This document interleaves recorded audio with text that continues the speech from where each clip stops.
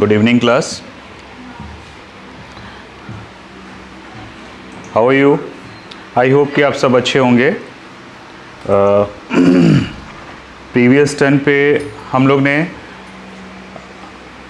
Models start किए थे। सबसे पहले हम लोग ने देखा था जे जे थॉम्सन का वाटरमेलन मॉडल देन हम लोग ने देखा Rutherford model solar system model कि there is a nucleus and around the nucleus जैसे सन के अराउंड प्लैनेट मूव करते हैं, उसी तरीके से उन्होंने बताया कि all the charge and mass is concentrated in very tiny nucleus and electrons are moving around that positively charge nucleus but इसमें मैक्सवेल इलेक्ट्रोडायनेमिक्स के अगेंस्ट एक बात थी क्योंकि अकॉर्डिंग टू मैक्सवेल इलेक्ट्रोडाइनमिक्स कि when a charge particle move then continuously emit their energy तो एक electron एक चार्ज पार्टिकल है और वो कंटिन्यूसली मूव कर रहा है। It should release their energy अगर वो एनर्जी रिलीज़ कर रहा है तो हम लोग ने पिछले एक स्लाइड में देखा था कि अपनी एनर्जी लूज करता हुआ फाइनली वो न्यूक्लियस में ड्रॉप हो जाएगा और वो वहाँ पे वैनिश हो जाएगा।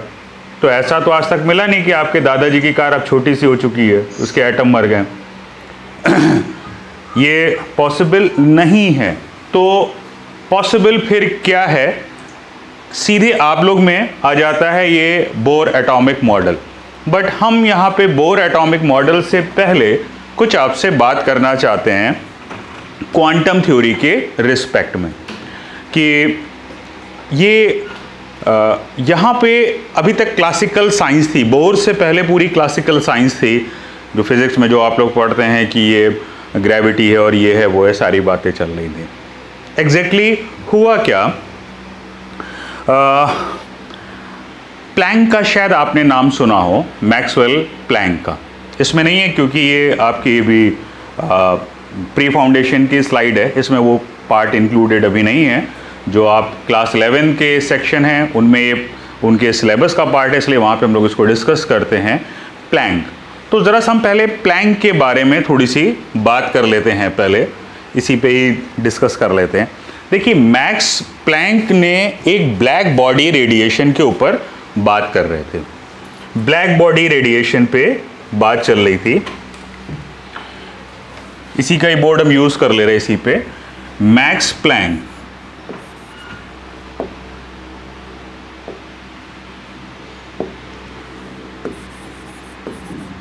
Max Planck Max Planck black body radiation के बारे में डिस्कस कर रहे थे।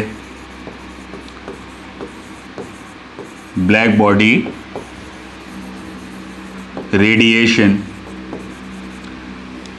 अब ब्लैक बॉडी रेडिएशन होता क्या है? तो इन्होंने क्या किया कि एक एक ऐसी बॉडी ली। इस बॉडी की अंदरूनी जो सरफेस थी, इस पे पूरा काजल लगा दिया। देखिए नेचुरल जितने भी ब्लैक सब्सटेंस होते हैं, उनमें से काजल को सबसे ज़्यादा ब्लैक माना जाता है। कृष्णा, हिंदी में एक टर्म यूज़ करते हैं, कृष्णा। हम लोग कृष्ण भगवान के लिए भी टर्म यूज़ करते हैं और कृष्ण भगवान के लिए जो बहुत सारी फिलॉसफी बताई गई हैं, वो कहीं ना कहीं इस ब्लैक बॉडी रेडिएशन और क्वांटम थ्योरी से भी कहीं ना कहीं कोरिलेट करती हैं। कभी उस पर डिस्कस होगा या जो मेरे क्लास अटेंड कर चुके हैं इसके ऊपर कि what is the relation between Krishna and black body radiation तो उनको पता होगा जिन लोगों ने मेरी क्लास अटेंड करी होगी। ब्लैक कलर की एक बड़ी ख़ास बात होती है। ये सबसे अच्छा एब्जॉर्बर होता है और सबसे अच्छा इमीटर भी होता है। ये सब एनर्जी को मैक्सिमम एनर्जी अपने अंदर एब्जॉर्ब करता। है, ये बात है कि 100 परसेंट अगर कोई ब्लैक बॉडी है तो वो केवल ब्लैक होल है। बाकी अगर आप काजल की बात करते हैं तो ये करीब 96 परसेंट गुड एब्जॉर्बर होता है। बाकी अभी सुना है कि कोई सिंथेटिक कंपाउंड भी है जो करीब 99 परसेंट एब्जॉर्बर है बट हमें हमें उसके बारे में जानकारी बस इतनी है कि कोई अभी सिंथेसाइज कंपाउंड है। अब देखिए, इसको क्या करते हैं? हल्का सा कर्व्ड बनाते हैं। जैसे एक घड़ा ले लिया, घड़े के अंदर काजल लगा दिया। और इसमें थोड़ी सी एक स्लांट लाइन यहाँ से आई, इधर टकराई, फिर यहाँ टकराई, इधर टकराई, इधर इधर इधर इधर, टकराते हुए फिर ये बाहर निकली। तो कई बार टकराती हर बार उसका 96 परसेंट एब्जॉर्ब हो जाता होगा। हर बार उसका 96 एब्जॉर्ब होते होते लगभग लगभग ये अप्रॉक्स अप्रॉक्स 99.999 परसेंट एब्जॉर्ब हो जाती है। इस तरीके से एक पहले एब्जॉर्ब किया जाता है और फिर इसको पहले गर्म करने के बाद इसको छोड़ देते हैं इमिशन के लिए। अब ये अपनी एनर्जी को इमिट करती पहले एनर्जी देते हैं, फिर ये एनर्जी जो इसने एब्जॉर्ब करी है, इसको इमिट करने के लिए छोड़ देते हैं। ये ब्लैक बॉडी रेडिएशन एक्सपेरिमेंट था। मैक्स प्लैंक एक रिसर्च स्कॉलर थे। इन्होंने अपनी एक रिसर्च करी ब्लैक बॉडी रेडिएशन पे।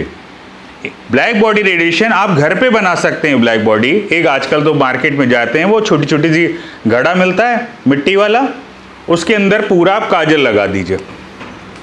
और एक जगह से उस पर एक इंसिडेंट लाइट आए, अंदर टकराएगी और उसका कुछ टेम्परेचर पहले ले लिया जाता है। बाद में आजकल तो इंफ्रारेड थर्मामीटर आते हैं, आप पहले टेम्परेचर ले लिया और जब वो थोड़ी गर्म हो गई, फिर उसको छोड़ देंगे। फिर वो अपनी एनर्जी को इमिट करेगी। यानी आपका जो खाना पकाने का तवा है, वो काला है तो ज़्यादा अच्छी बात है। आपने उसको घस घस के एकदम चमका दिया, वो अच्छी बात नहीं है, क्योंकि जब वो काला होगा तो वो मैक्सिमम एनर्जी एब्जॉर्ब करेगा। प्रेशर कुकर, पतीली का बेस अगर काला है तो ज़्यादा अच्छा पहले आप देखते बड़े चमकते हुए आते थे। आजकल मार्केट में जाइए, तमामों कंपनियाँ, हॉकिंस प्रेस्टीज इसके जो कुकर का बेस देखिए, वो ब्लैक कलर का करके देते हैं। उसके पीछे भी रीज़न यही है। और जो पहले टेलीविज़न होते थे, उनकी जो कैबिनेट, उनके स्क्रीन के किनारे किनारे ब्लैक कलर बनाया जाता था, ताकि जो एक्स्ट्रा रेडिएशन है, वो एब्जॉर्ब कर ले। जिस कैमरे पे आप हमें देख रहे हैं ये प्रो वीजीए प्रो कैमरा है, जो मतलब हाईली एडवांस है। इसका भी पूरा अगर ओपनिंग आप देखेंगे, वो भी चारों तरफ़ से ब्लैक करी गई है। वो इसीलिए एक्स्ट्रा रेडिएशन देखिए इसकी भी बाउंड्री अंदर से ब्लैक रखी जाती है। ऊपर से भले खूबसूरत बनाने के लिए कैसा दिखा, लेकिन इसके अंदर अंदर ये ब्लैक रखा जाता है, ताकि ये एब्जॉर्ब कर ले। ये इसी एक्सपेरिमेंट पे वो अपना काम कर रहे थे। इन्होंने एक चीज़ देखी। बार बार जो भी ये एब्जॉर्ब करते थे इमिशन हो रहा था, जब इमिशन हो रहा था, इस इमिशन में कि जो एनर्जी इमिट हो रही थी, उसमें, उसकी फ्रिक्वेंसी से डायरेक्टली रिलेशन था। जितनी एनर्जी ये इमिट कर रहा था, उससे जो इमिशन हो रहा था, उसकी फ्रिक्वेंसी ये क्या है? एनर्जी और ये क्या है? फ्रीक्वेंसी जो इमिशन हो रहा था जैसे एब्जॉर्ब करी लाइट और एब्जॉर्ब करने के बाद जो एनर्जी रिलीज़ करी जो एनर्जी रिलीज़ कर रहा था एनर्जी जो रिलीज़ हो रही थी और जो वेव जा रही थी जो इलेक्ट्रोमैग्नेटिक वेव जा रही थी इसकी जो फ्रीक्वेंसी थी वो दोनों डायरेक्टली प्रोपोर्शन थी। और इन्होंने अपने एक एक्सपेरिमेंट को उठाया और पूरा का पूरा एक्सपेरिमेंट इन्होंने आ, आ, उनको क्या नाम था? नोबेल प्राइज मिला था फ़ोटो इलेक्ट्रिकल के लिए जिनको? बाल खड़े खड़े थे। आइंस्टाइन आइंस्टाइन को अपना एक्सपेरिमेंट इन्होंने भेजा कि, सर, देखिए, ये मेरे एक्सपेरिमेंट में एक ये बार बार ये रिलेशन आ रही है। आइंस्टाइन ने एक चीज़ और देखी, जितना इमिशन था, उसको जब उससे इमिट होने वाले रेडिएशन की फ्रीक्वेंसी से डिवाइड किया तो हर बार एक खास नंबर आ रहा था। और ये नंबर था six point six two six into ten to the power minus thirty four और इस नंबर को उन्होंने बाद में बोल दिया कि ये प्लैंक कांस्टेंट है। प्लैंक कांस्टेंट का नाम दे दिया गया। एच स्मॉल एच से डिनोट करते हैं। और फाइनली फिर एक इक्वेशन आई E is equal to H nu ये बहुत गजब की इक्वेशन थी, जो लोग नहीं जानते उनके लिए ठीक है, लिखा होगा E is equal to H nu हमसे क्या लेना देना। लेकिन जो साइंस स्टूडेंट है, वो उनके लिए ये क्वांटम का पहला स्टेप था कि जब भी कोई एनर्जी निकलेगी, वो एक बंडल के फॉर्म में निकलेगी। और उस बंडल में एनर्जी का जो बंडल होगा उसकी जो एनर्जी होगी वो एच और न्यू के बराबर होगी। अपना सुबह सुबह बाहर खड़े हो गए सनलाइट आ रही थी। सनलाइट से जो फ्रीक्वेंसी मिल रही है उसमें से उसमें ख्याल कि मिक्सचर ऑफ़ फ्रीक्वेंसीज होंगी। उसमें से कोई एक आ, लाइट के फोटोन की फ्रीक्वेंसी हमें पता चल जाए। उसकी फ्रिक्वेंसी को इस प्लैंक कांस्टेंट से बस आप मल्टीप्लाई कर दीजिए। इनका आप मल्टीप्लाई कर देंगे, जितनी एनर्जी होगी आपको पता चल जाएगी, एक फोटोन से कितनी एनर्जी आ रही है। यहाँ से पहली बार क्वांटम के बारे में पता चला। तो क्वांटम को बहुत से लोगों ने बड़ा डरा दिया बच्चों को कि कहीं पढ़ ना लें और या पता नहीं क्या सोच लिया कि बहुत कॉम्प्लिकेट भाई साहब, बहुत कॉम्प्लिकेट कुछ भी नहीं है। बहुत सिंपल सी एक बात हम समझाते हैं। प्लैंग सॉरी क्वांटम का मतलब होता है एनर्जी का पैकेट आप बाज़ार गए? चिप्स खरीदें? खरीदे ना? पाँच रुपए का चिप्स का पैकेट आता है। अब कोई उस कंपनी का, मान लीजिए कि आपने अंकल चिप्स ले लिया, पाँच रुपए का उसका वही ग्रीन वाला जो नहीं आता है अब उसमें से आप कोई भी पैकेट उठा लिए पाँच रुपए का, उसमें उतनी ही चिप्स मिलेगी। दस रुपए का एक लेंगे, या फिर एक बीस रुपए का होता है, पचास रुपए का होता है। अब जो पचास रुपए का होगा, उसमें उतनी ही चिप्स मिलेगी। दस रुपए में उतनी ही मिलेगी, पाँच रुपए में उतनी ही मिलेगी। जितनी आप एक पैकेट में एक खास जैसे पाँच रुपए का पैकेट है, उसमें एक डेफिनेट अमाउंट ऑफ़ चिप्स होगी। दस रुपए के पैकेट में एक डेफिनेट अमाउंट होगी। यहाँ पे मास की बात थी। अगर एनर्जी एक डेफिनेट अमाउंट के बंडल्स में हो, इसको बोलते हैं क्वांटम। तो what is the quantum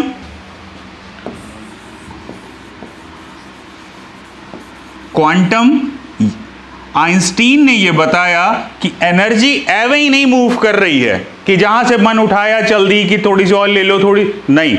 energy हमेशा बंडल में चलती है। जैसे कि मान लीजिए, आज गलती से आपने कहा, चलो आज पापा हम नहा लेते हैं। नहाने के लिए अब आपके पास ऑप्शन है कि एक एक रुपए का सैशे है, या आप एक एक रुपए के दो ले लीजिए, चार ले लीजिए, पाँच ले लीजिए। लेकिन हर में उतना ही अमाउंट मिलेगा। या दो दो रुपए के पाँच ले लीजिए, या पाँच पाँच रुपए के दो ले लीजिए दस रुपए का सीधा एक ले लीजिए। ठीक है, जो भी आपकी रिक्वायरमेंट है, आप ले लेंगे। इसी तरीके से चिप्स खाना है तो एक डेफिनेट अमाउंट में आप ले रहे हैं। कभी भी ऐस जैसे आ, जैसे मार्केट में आप आजकल पहले क्या था आटा लेने गए हम लोग। नहीं पहले हम दूध का एग्ज़ाम्पल हुआ। बचपन में हमने बताया ना कि बहुत आ, हम लोग लोअर मिडिल क्लास से गरीबी वाली दुनिया थी अपनी। तो दूध लेने जाते थे वो बाल्टी वाल्टी का चलन था। अभी भी कुछ लोग को देखा हमने कभी कभी शाम का वक्त हुआ जाओ घर के लिए दूध लेके आए। दूध लेने गए तो वो जितना भी एक लीटर दो लीटर जो भी लेना हुआ लिया। अच्छा भैया जी थोड़ा सा और तो दे दीजिए। आपने बड़ा कम दिया, ये है, वो है, उसने अच्छा लिया थोड़ी सी, अपने में अपने, थोड़ा सा और लिया, थोड़ा सा और डाल दिया, कुछ अमाउंट ऐड कर दिया, ये पहले पॉसिबल था। अब इसी चीज़ को सोचिए कि आप, अब इसी चीज़ को आप सोचिए कि ये कोई अपना मोबाइल दिखा रहा है।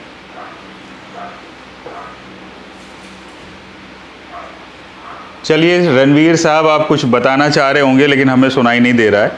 अभी मेरे ही सुन लीजिए। तो अब यही सोचिए, आजकल की दुनिया में जहाँ पे पैकेट के तरीके से मिलता है आधा आधा लीटर के पैकेट या एक एक लीटर के पैकेट, या आप तो दो लीटर के पैकेट भी देखा था इतना बड़ा सा पैकेट था।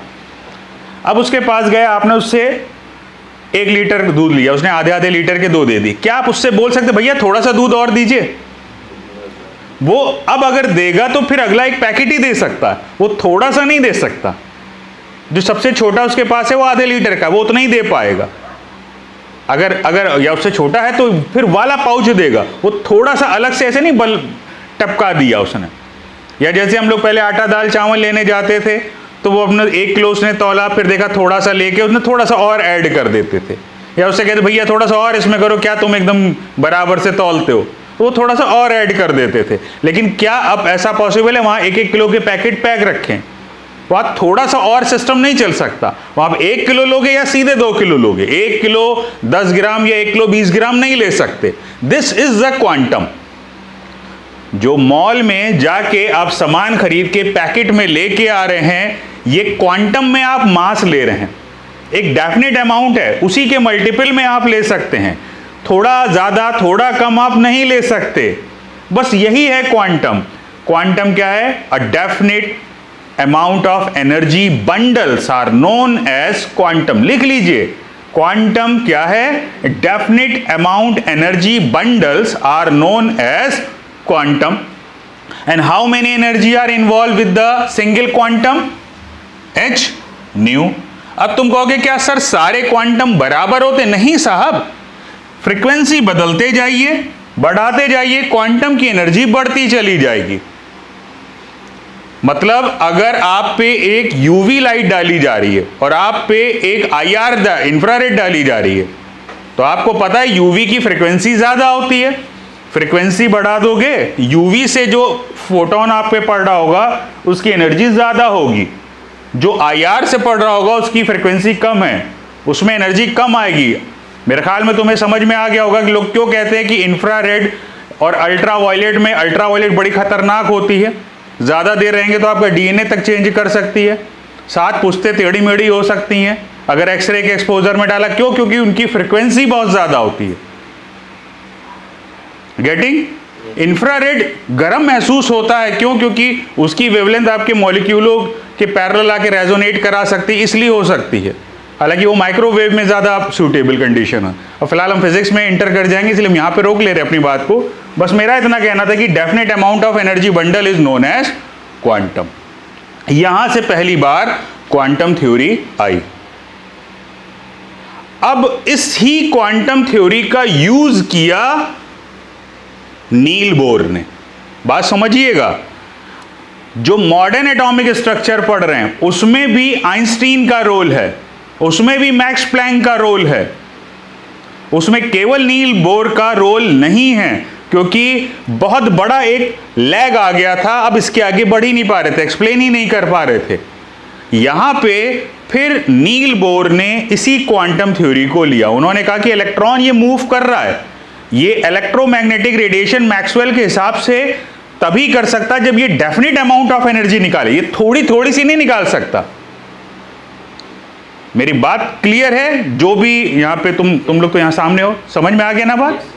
अब देखिए, यही चीज़ उठा के इन्होंने यूज़ कर ली। ये नील बोर, हालाँकि ये फिजिक्स के साइंटिस्ट थे प्रोफेसर थे कॉलेज में अपने पढ़ाते थे। इन्होंने क्या किया? क्वांटम थ्योरी को यूज़ किया।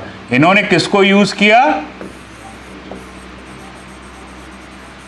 क्वांटम थ्योरी को यूज़ किया तो नील बोर का atomic model was based upon quantum theory और according to this model electron देखिए, इन्होंने शुरुआती बात भी वही करी जो रदरफोर्ड ने बोली थी all the positive charge and mass is concentrated in very tiny nucleus क्या बोला इन्होंने? All the positive charge and mass is concentrated in very tiny nucleus and electron are moving around the positively charge nucleus in कहाँ पे? Definite stable non radiating fix orbital ये बहुत important term है। सारे terms का एक एक meaning है। क्या बोला? Negatively charge electron are moving around the nucleus in कहाँ पे? In fix stable stationary non radiating orbitals एक खास ऑर्बिटल है, उन्हीं में ही इलेक्ट्रॉन मूव करते हैं। ऐसा नहीं कि कहीं पर भी मूव कर रहे हैं। पहली रोड पर मूव करेगा या दूसरी पे करेगा। या तीसरी पे करेगा, अभी अगले में हम लोग देखते हैं स्लाइड पे। कुछ बात लिखी है यहाँ पे पॉस्टुलेट किया ओनली सर्टेन स्पेशल ऑर्बिटल अब यहाँ पे कुछ लोग सोच रहे होंगे कि सर ये स्पेशल ऑर्बिटल की और क्वांटम थ्योरी से आपस में क्या रिलेशन है? बेसिकली स्पेशल ऑर्बिटल है तो उसकी एक खास एनर्जी होगी, उसकी एक डेफिनेट एनर्जी होगी। और हर डेफिनेट एनर्जी का मतलब क्या होता है? एच न्यू मिला कुछ कुछ रिलेशन अभी आगे चलेंगे तो और सब बातें नज़र आएँगी हम लोग को। तो क्या लिखा है? Only certain special orbitals called discrete orbital of electrons are allowed inside the atom कुछ खास सर्टेन स्टेबल ऑर्बिटल है जिसमें एटम में इलेक्ट्रॉन मूव करते हैं। While revolving in their discrete orbital, the electron do not radiate. अभी हमने एक टर्म बोला था नॉन रेडिएटिंग ऑर्बिटल क्या बोला था? नॉन रेडिएटिंग ऑर्बिटल इसको अगले डायग्राम से समझते हैं कि अगर ये न्यूक्लियस है, ये आपका न्यूक्लियस है तो न्यूक्लियस के अराउंड कुछ फिक्स स्टेबल ऑर्बिटल या तो इलेक्ट्रॉन पहले शेल में मूव करेगा, या दूसरे में, या तीसरे में, या चौथे में। जब किसी एक शेल में मूव कर रहा होगा तो ना वो एनर्जी एब्जॉर्ब करेगा, ना एनर्जी इवॉल्व करेगा। जब वो बाहर से अंदर आएगा तो कुछ डेफिनेट अमाउंट ऑफ़ एनर्जी निकालेगा। और वो कितनी एनर्जी होगी? एक डेफिनेट होगी एच न्यू के बराबर होगी। और यही एनर्जी आपने अगर इस इलेक्ट्रॉन को दे दी तो अंदर से ये इलेक्ट्रॉन बाहर जंप करके आ जाएगा। इसके लिए आपको एक डेफिनेट अमाउंट ऑफ़ एनर्जी देना पड़ेगी। When a fix amount of energy is given to the electron then electron move from inner shell to outer shell. And when electron move from outer shell to inner shell, it evolve a definite amount of energy. हम अपनी बात को clear कर पा रहे हैं ना आपसे?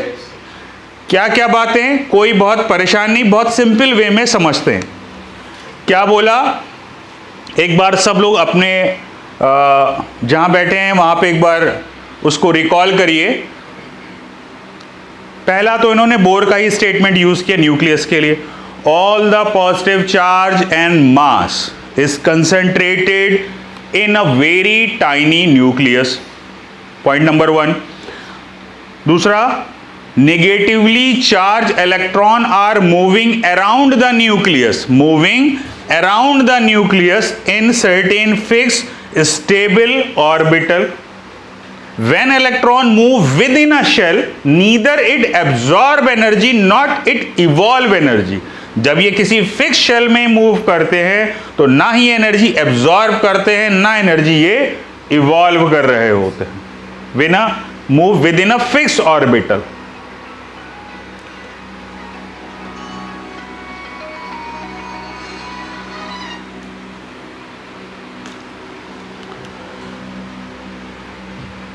फिर है when electron move from outer shell to inner shell देखिए बाहर से अंदर की तरफ़ ही एरो बना हुआ है।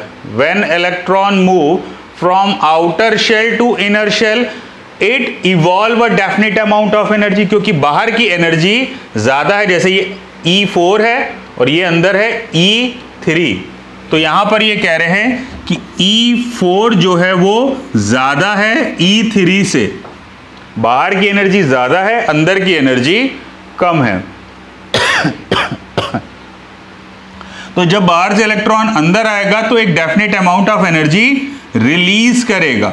और जब इलेक्ट्रॉन, मान लीजिए अंदर ये कोई इलेक्ट्रॉन है, इसको आप एक डेफिनेट अमाउंट ऑफ़ एनर्जी देंगे, ये अंदर से जंप करके बाहर आ जाएगा। ये अंदर से जंप करके इलेक्ट्रॉन बाहर आ जाएगा, जब एक डेफिनेट अमाउंट ऑफ़ एनर्जी इसको दिया जाएगा। गॉट इट कोई कंफ्यूजन तो नहीं है? यहाँ पे इसी इसीलिए सबकी एनर्जी क्या है? क्वांटाइज्ड एनर्जी है। कैसी एनर्जी है? क्वांटाइज्ड एनर्जी है। इसके लिए एक बड़ी अच्छी सी बुक है। आ, बुक तो मिलना आप लोग के लिए थोड़ा सा मुश्किल होगा।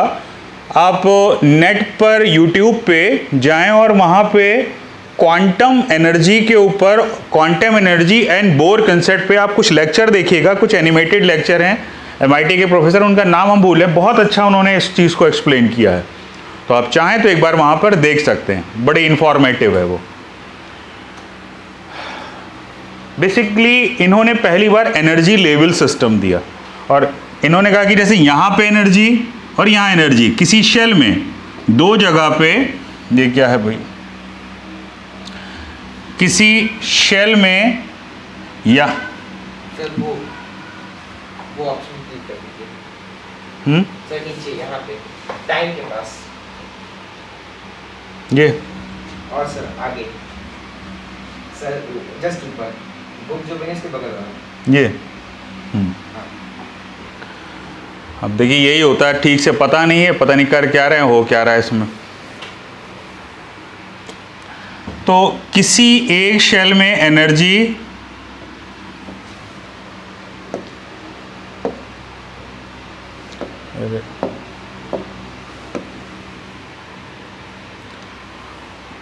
फिक्स होगी। नेक्स्ट ये सोलर सिस्टम आ गया, ये कुछ पुरानी बातें हैं कि ये अपना भाई रदर फोर्ड मॉडल के बारे में यहाँ पर दिया था। लेकिन यहाँ पे तो एक ग्रेविटी की वजह से तो इलेक्ट्रॉन मूव करते हैं, इनको ना एनर्जी एब्जॉर्ब कर रहे हैं, ना इवॉल्व कर रहे हैं।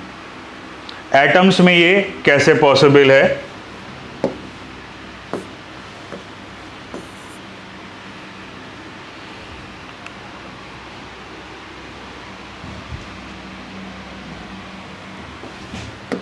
अब देखिए यहाँ पे पेन ही नहीं काम कर पा रहा है मेरा।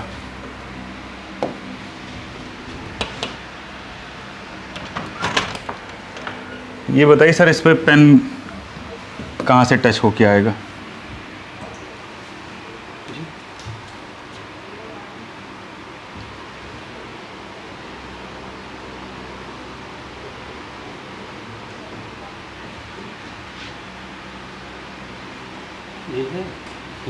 हम्म।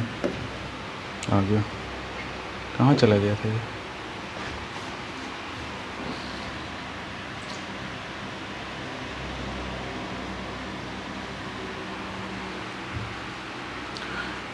ये हम लोग बात कर रहे थे सोलर सिस्टम की रदरफोर्ड मॉडल था। रदरफोर्ड ने यही सोलर सिस्टम से कंपेयर किया, लेकिन यहाँ पे तो ग्रेविटी से एक्सप्लेन हो जाता है कि टाइम स्पेस में जो फोल्डिंग आती है, उसकी वजह से एक फोर्स मिलता है। लेकिन इलेक्ट्रोडायनेमिक्स में एटम्स के स्ट्रक्चर में ये बात नहीं आ पा रही थी। मैक्सवेल इलेक्ट्रोडायनेमिक्स को एक्सप्लेन नहीं कर रहा था, फिर वो क्वांटम थ्योरी से कंपेयर किया। स्ट्रक्चर ऑफ़ एटम में वही बोर की हम बात थोड़ी सी फिर से करते हैं। कि किसी एक शेल में मैक्सिमम कितने इलेक्ट्रॉन पॉसिबल हैं? मैक्सिमम इलेक्ट्रॉन किसी शेल में कितने पॉसिबल हैं? कोई बता सकता है? पहले में तो दो इलेक्ट्रॉन हो गए इसके लिए कोई फॉर्मूला था दूसरे में आठ थे।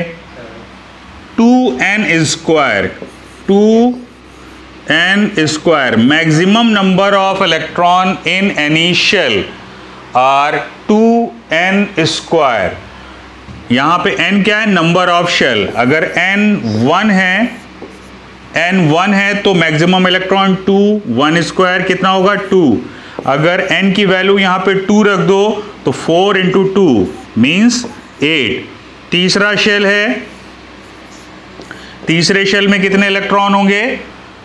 Nine into eighteen. आप ऐसे ही करते जाइएगा, फिर चौथे शेल में कितना आएगा?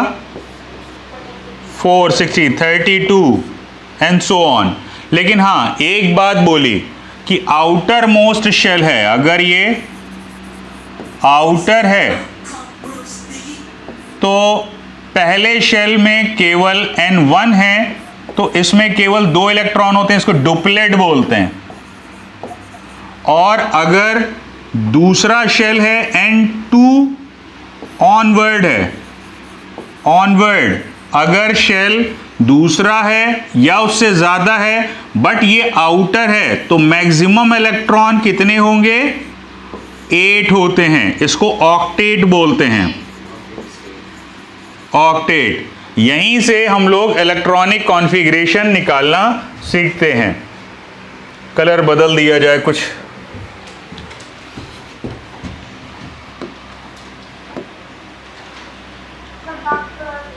हाँ। कुछ इलेक्ट्रॉन कुछ एटम लेते हैं और उनके कॉन्फ़िगरेशन लिखते हैं। जैसे किसका किसका ले लीजिए? कार्बन का ले लिया जाए? चलिए कार्बन का लेते हैं सिक्स और क्लोरीन का लेते हैं सेवेंटीन और किसका ले लीजिए? और बताइए कैल्शियम ले लेते हैं ट्वेंटी सोडियम इलेवन। क्या होगा? Two comma four. सेवनटीन का क्या होगा? Two comma eight comma seven. इसमें क्या होगा? Two comma eight comma eight comma two. ये पहला शेल है। पहले शेल को के बोला था, दूसरे शेल को एल तीसरे शेल को एम चौथे शेल को एन फिर इलेवन था। इसमें क्या हो जाएगा? Two comma eight comma one वैसे एक बड़ी खास बात यहाँ से और पता चलने लग गई कि आउटर मोस्ट शेल और इनकी वैलेंसी में कोई रिलेशन सा नज़र आने लग गया है। क्या रिलेशन है? अभी हम लोग आगे चलेंगे।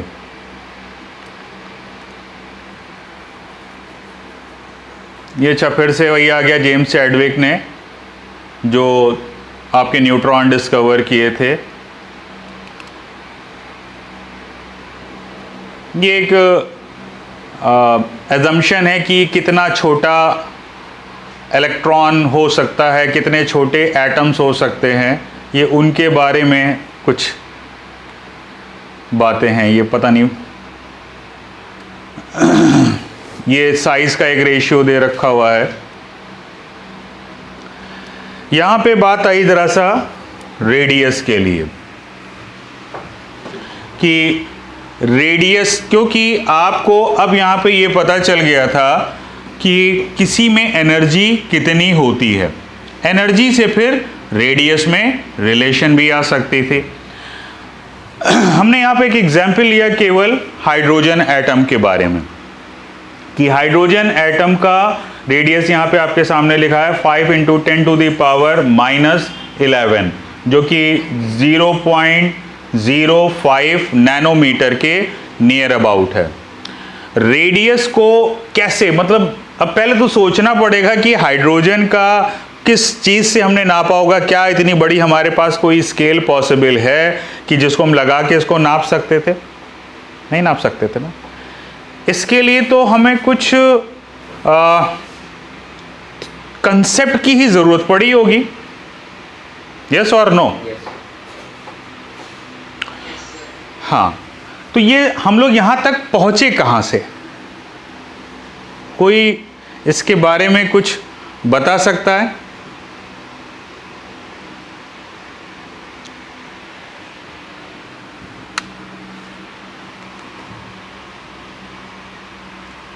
चलिए, यहाँ तक पहुँचने से पहले, यहाँ से हमारा स्टार्ट हो जाता है थोड़ा सा एडवांस का पार्ट स्टार्ट करते हैं जो। कुछ एडवांस बातें हैं जो आपको क्लास इलेवेंथ में आएँगे, या जब हम लोग आपका स्कूल लेवल पे कंप्लीट कराने के बाद जब हम लोग रिवीजन स्टार्ट करते हैं, तब उसमें कुछ बातें ऐड कर देंगे कि आप किसी एटम की रेडियस कहाँ से डिफाइन कर सकते हैं। आप जो इलेक्ट्रॉन मूव कर रहा है, उसकी वेलोसिटी कैसे डिफाइन कर सकते हैं? उस इलेक्ट्रॉन के संग कितनी एनर्जी इन्वॉल्व है, उसको भी हम लोग डिफाइन कर सकते हैं। ये इंटरेस्टिंग पार्ट है। इलेवेंथ की अगर किसी के पास बुक है तो उसमें देख सकते हैं। ऐसा नहीं कि कोई बहुत हम लोग बहुत हाई फाई चीज़ें। जस्ट इलेवेंथ में ही पढ़ाया जाता है बच्चों को। लेकिन वहाँ तक पहुँचने से पहले कुछ और बातें आपके संग पहले शेयर करना चाहते हैं। तब हम लोग इसकी तरफ़ मूव करेंगे। ये बेसिकली हमारा एक फ्यूचरिस्टिक स्टेप है कि आगे चल के हम लोग यहाँ तक कैसे पहुँच सकते हैं।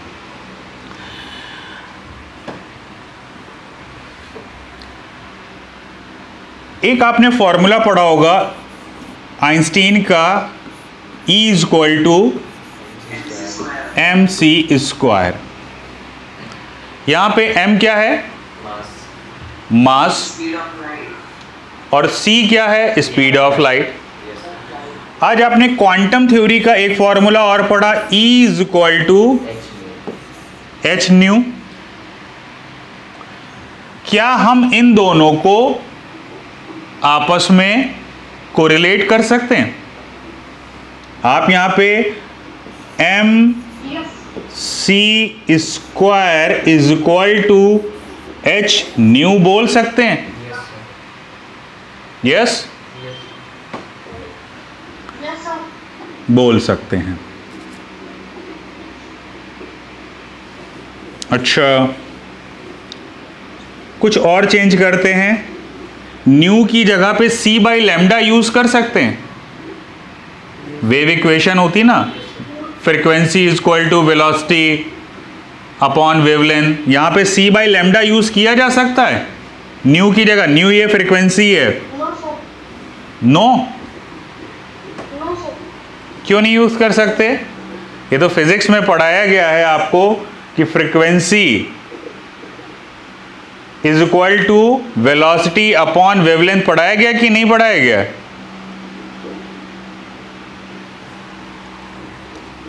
तो M C square is equal to H C by lambda velocity upon wavelength, C और सी गया इधर से, क्या हो जाएगा? Lambda wavelength is equal to H upon M C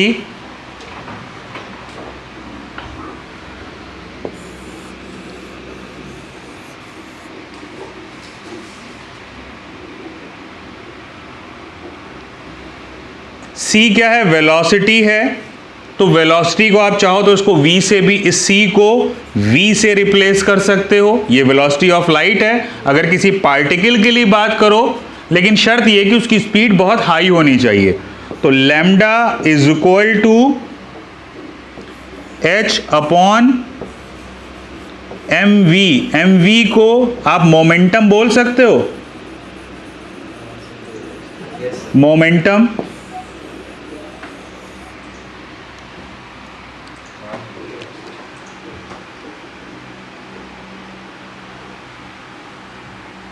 इसको बोला जाता है de Broglie wave equation. This is called de Broglie wave equation basically इस फॉर्मूले के बाद हमको ये कंफर्म हो गया कि जब कोई इलेक्ट्रॉन मूव कर रहा है तो ये डुअल नेचर शो करता है। यहाँ से पार्टिकल के डुअल नेचर के बारे में पता चला कि when a small particle move with the very high speed then it show dual nature particle as well as wave. Mv momentum into velocity ये इसका पार्टिकल नेचर हो रहा है। और जब ये पार्टिकल मूव कर रहा है तो उसकी कुछ वेवलेंथ है।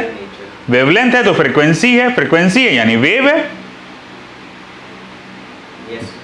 मतलब कि अगर कोई बहुत हाई स्पीड से कोई फोटोन एंट्री करता है तो फोटोन की ज़ाहिर सी बात स्पीड हाई होती है या कोई भी पार्टिकल को आप बहुत हाई स्पीड से मूव करा दें।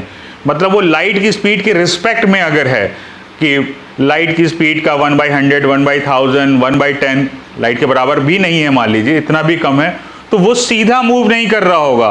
वो एक वेव नेचर को रिप्रेजेंट कर रहा होगा। तो particle as well as light को एज वेल एज फ्रीक्वेंसी को रिप्रेजेंट करता है। When a charge when a particle move with very high speed then it show dual nature dual nature तो जितनी भी पूरी तुम्हारी मॉडर्न एटॉमिक्स की स्टडी है, वो इसी डुअल नेचर पर ही बेस करके करी गई फिर इसके बाद हेजनबर्ग अनसर्टेनिटी प्रिंसिपल ये भी आगे हम लोग जो प्री फाउंडेशन का जब एडवांस लेवल रिवीजन होगा, इसमें जोड़ते हैं। कि जब कोई पार्टिकल मूव करता है तो या तो आप उसकी पोजीशन एग्जैक्टली बता सकते हो, या फिर आप उसकी वेलोसिटी एकदम एग्जैक्टली बता सकते हो। इसको ऐसे समझ लो, एक गेम खेलते हैं। ये इलेक्ट्रॉन मूव कर रहा है। ये इलेक्ट्रॉन मूव कर रहा है इस तरीके से। अब अगर मान लीजिए इलेक्ट्रॉन से कहा जाए, कहाँ पर हो? उसने कहा कि हम यहाँ पर हैं, इस पर्टिकुलर पॉइंट पे हैं। लेकिन जब तक ये बता रहा होगा, तब तक ये कुछ आगे शिफ्ट हो चुका होगा। फिर इसको एक बड़े कॉमन से एग्ज़ाम्पल से लेते हैं। मान लीजिए कि हम अपने घर जा रहे थे। जैसे ही घर आगे बढ़ने लगे, थोड़ी देर में मम्मी का मेरी फ़ोन आया, पूछा कि भाई साहब, तुम कहाँ हो? हमने कहा कि वो मुंशी पुलिया, वो कौन सा ये चौराहा पॉलिटेक्निक चौराहे के पास है। वहाँ पे बिल्कुल चौराहे के पास है तो कहा, एकदम चौराहे पर हो।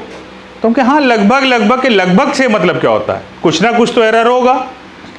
हाँ मतलब चौराहे के इधर थे जब तक आपसे बात करी तब तक उधर आए। यानी यहाँ पे एक कोई आ, हल्का सा एरर आया। हम एग्जैक्ट नहीं थे तो हमने कहा हमने होशियारी लगाई। हमने अगले दिन फिर हम जा रहे थे इतफाक से तभी फ़ोन आ गया और हमसे पूछा गया कि कहाँ पर हो? हमने हमने तुरंत गए और बिल्कुल बीच जो चौराहा का पोल था उसको पकड़ के खड़े हो गए कि मम्मी आज तो बिल्कुल एकदम चौराहे पे खड़े हैं, इसमें कोई भी एरर नहीं है। कहाँ पर आ रहे हो? हमने कहा, घर आ रहे मम्मी ने कहा, फिर तुम गलत बोल रहे हो। अब तुम आ कहाँ रहे हो? तुम तो रुक गए वहाँ पर आप दोनों चीज़ एक संग डिफाइन नहीं कर सकते। अगर कोई चीज़ मूव कर रही है तो कंटिन्यूसली अपनी पोजीशन को चेंज कर रही है। और अगर आप पोजीशन एकदम फिक्स कर रहे हैं तो वो चल नहीं रही है। और दोनों को संग में आप करेंगे तो दोनों में कुछ ना कुछ अनसर्टेनिटी आ जाती है। इसी को बोला जाता है हाइजेनबर्ग अनसर्टेनिटी प्रिंसिपल इसके बाद इसमें कुछ और आते हैं क्वांटम नंबर होता है। क्वांटम नंबर ये बताते हैं। अब हम, क्योंकि आज हमारा फाइनल डे है तो हम लोग आपके स्कूल लेवल पे हमने डिस्कस कर लिया कुछ एडवांस में जो हम लोग फाउंडेशन के रेगुलर क्लासेस में डिस्कस करते हैं, उन चीज़ों के बारे में बता दें कि जैसे हम लोग क्वांटम नंबर क्वांटम नंबर क्या होता है? जैसे एड्रेस है। भाई हमसे पूछा जाए, शाह तुम कहाँ रहते हो? हम बताएँगे, हम गोमती नगर में, इस खंड में, इस मकान नंबर पे रहते हैं। उसी तरीके से इलेक्ट्रॉन से पूछा जाता है तो वो बताते हैं, मेरा शेल ये है, उसका सब शेल ये है, उसमें ऑर्बिटल ये है, और मेरा रोटेशन या स्पिन क्लॉकवाइज है या एंटी क्लॉक है। चार डिजिट होती हैं। पहली डिजिट बताती है कि इसका शेल क्या है, दूसरी डिजिट बताती है, इसका सब शेल क्या है तीसरी डिजिट बताती है, उसमें ऑर्बिटल कौन सा है? चौथी डिजिट बताती है कि ये क्लॉकवाइज मूव कर रहा है कि एंटी क्लॉकवाइज मूव कर रहा है। फिर इसमें हम लोग एक पाउली एक्सक्लूसिव प्रिंसिपल भी डिस्कस करते हैं।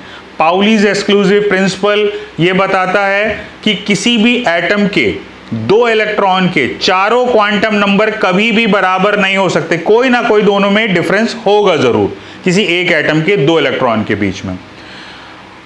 आफ बाउ प्रिंसिपल के बारे में हम लोग इसमें डिस्कस करते हैं, जो बहुत यूजफुल हो जाता है बहुत सारी स्टडीज़ के लिए। आफ बाउ प्रिंसिपल, शायद आपने कुछ देखा होगा कई बार, one S two two S two two P six और थ्री एस वन ये बेसिकली सोडियम का इलेक्ट्रॉनिक कॉन्फ़िगरेशन लिखा हुआ है। ये जो दिख रहा है आपको, ये सोडियम का इलेक्ट्रॉनिक कॉन्फ़िगरेशन है। और ये एसपीडीएफ टाइप के, वहाँ पे हम लोग ने बोर में कैसे लिख दिया था? केवल two comma eight comma one लिखा था। लेकिन यहाँ पे देखिए, हमने ये पूरी डिटेल देते हैं कि पहले शेल के एस सब शेल में दो इलेक्ट्रॉन है, दूसरे शेल में टोटल आठ इलेक्ट्रॉन है, दो एस सब शेल में है और छह आपके पी सब शेल में है। फिर एक इलेक्ट्रॉन तीसरे शेल में और तीसरे के भी एस सब शेल में एक इलेक्ट्रॉन एग्जिस्ट करता है। हम इस तरीके से यहाँ पे डिफाइन करते हैं इसको एसपीडीएफ और ये कैसे भरते हैं ऑफ़ बाउ प्रिंसिपल से फिल होते हैं।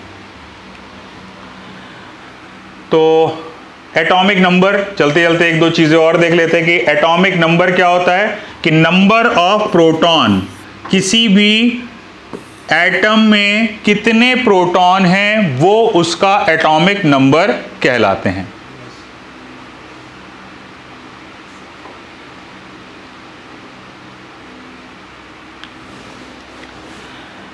Number of proton present in an atom characterize property इसकी रिएक्टिव कैपेसिटी कितना है? देखिए, जितने नंबर ऑफ़ प्रोटॉन होंगे, उतने ही नंबर ऑफ़ इलेक्ट्रॉन होंगे, अगर वो न्यूट्रल है।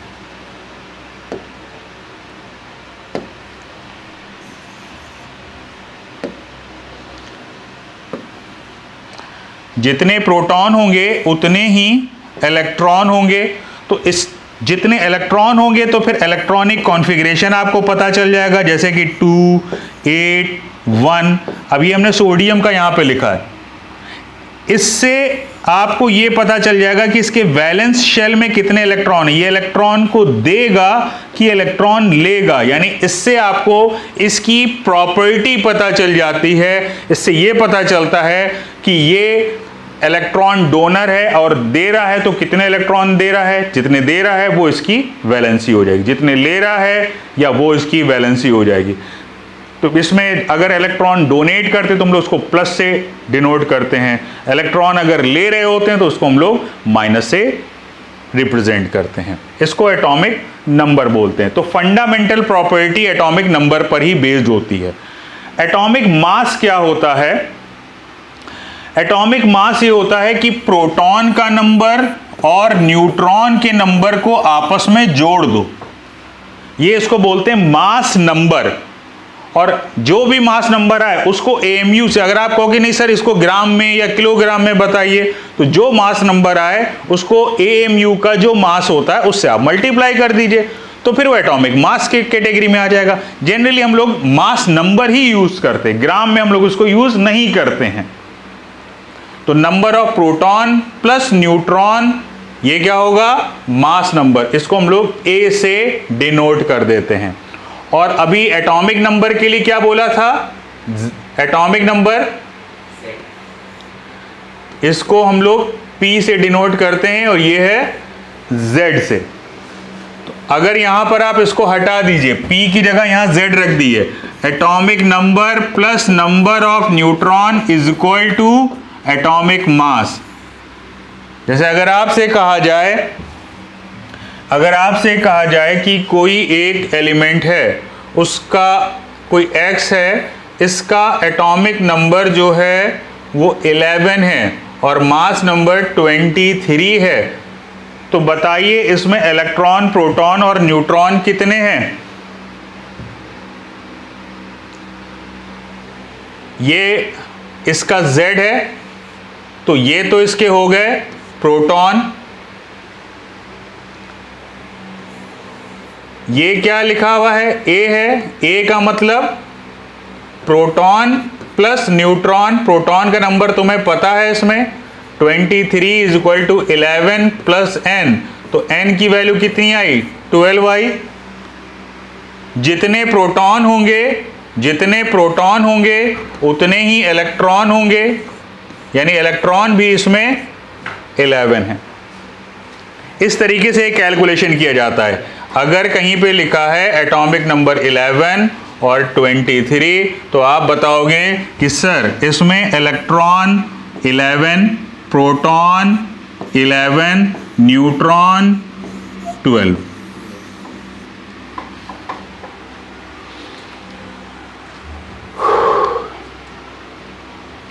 चलिए साहब, अब आगे हम लोग इसमें बहुत सारी कुछ बातें हैं जो एलेवेंथ की हैं, लेकिन आप लोग के लिए यूज़फुल भी हैं। जब हम लोग कभी आगे मिलते हैं या हमारे जो रेगुलर क्लास होते हैं, इसमें इन सब चीज़ों को भी इनकॉर्पोरेट कर लेते हैं। लेकिन मेरा बस चलते चलते आपसे इतना ही है कि जब भी आप करिए, चाहे आप यहाँ पे पढ़िए, चाहे ना पढ़िए, वो आपकी अपनी चॉइस होगी। बट मेरा एक सजेशन है, ये एज अ टीचर ना हो के एज अ सीनियर आपको हम सजेस्ट कर रहे हैं कि आते ही साथी या कोचिंग में एडमिशन लेते ही साथी, पहले तो चीज़ ये, एक दोनों को मिल के इसमें एफर्ट करना होता है। तभी ये चीज़ आगे बढ़ती है। केवल हम सोचें कि हम पढ़ा देंगे और आप कुछ हो जाएँगे, हम कोई भगवान है, ऐसा कुछ भी नहीं। हम दोनों को मिल के एफर्ट करना पड़ेगा। केवल कोचिंग में एडमिशन ले लेने से कुछ नहीं होता है। एफर्ट आपको भी करना पड़ेगा एफर्ट आपके टीचर को भी करना पड़ेगा।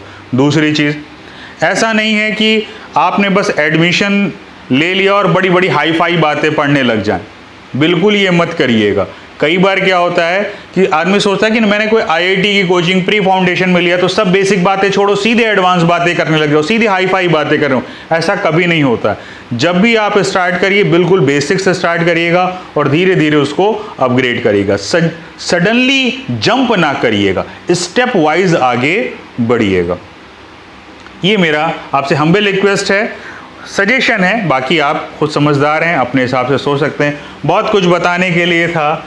पता नहीं क्या क्या बताते आपसे कि वही है कि जैसे अगर किसी का आपको मांस निकालना है, ये एक फल आ गए तो हमने कहा जाते जाते एक बात कर ले। जैसे मॉलिकुलर मास अगर आपको निकालना है, एक आप बैग ले लिए मान लीजिए, उसमें आपने कोई गाजर ले ली, सपोज़ कर लीजिए इस गाजरों का जो वेट है, वो एक गाजर का वेट जो है वो दो है और कितनी है? दो हैं यहाँ पे। इसमें कुछ बनाना का वेट है, मान लीजिए इसका वेट कुछ है, वन के है, इसका कुछ अपना वेट है, इसका कुछ अपना वेट है, इसका कुछ अपना वेट है। तो आपसे पूछा जाएगा कि टोटल वेट कितना सबके वेट को जोड़ के आप फाइनल वेट बता दोगे। इसी तरीके से आता है molecular mass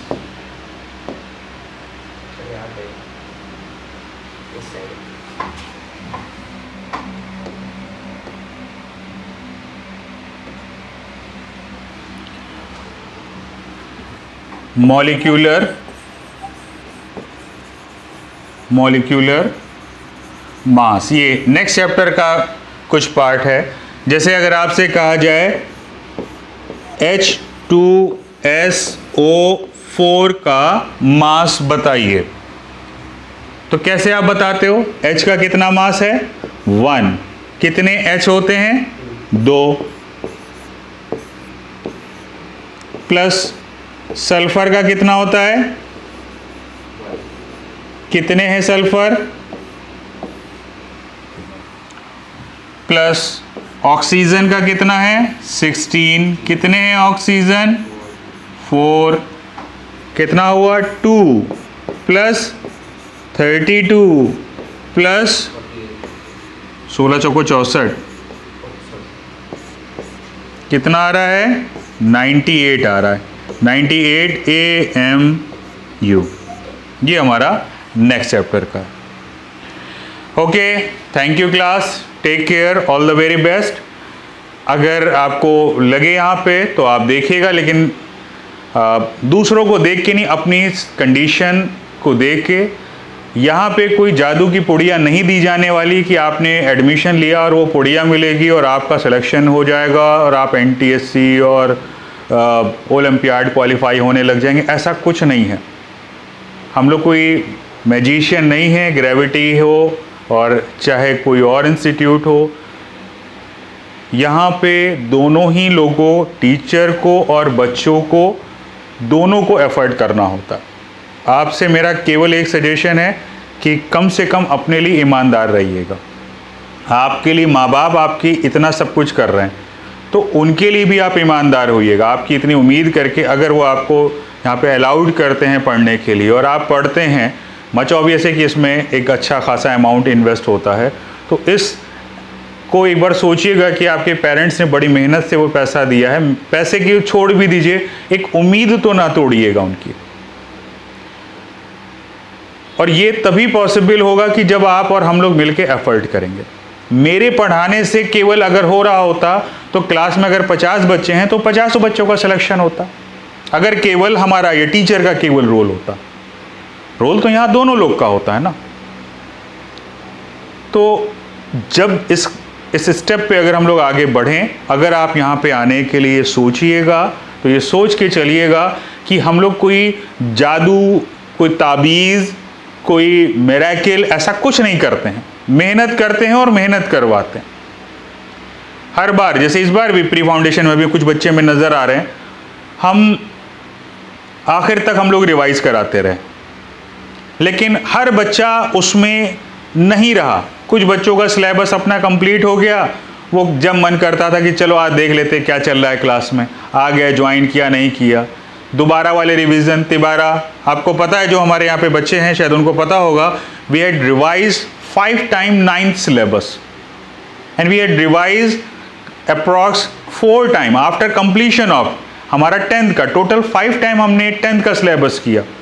और हर स्टेप में क्वेश्चन की तरीके से थ्योरिकल पार्ट में, बच्चों का involvement leadership of the class हर तरीके से फ़िश बॉल एक्टिविटी तमामों तरीके से हम लोग ने रिवाइज किया.